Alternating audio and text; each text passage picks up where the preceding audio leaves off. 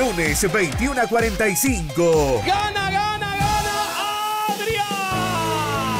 ¡Aplaude el jurado!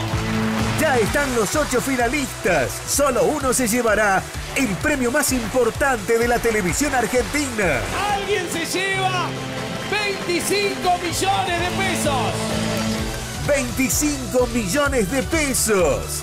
No te pierdas la gran final de Los ocho escalones por 25 millones. Lunes 21 a 45 por el 13.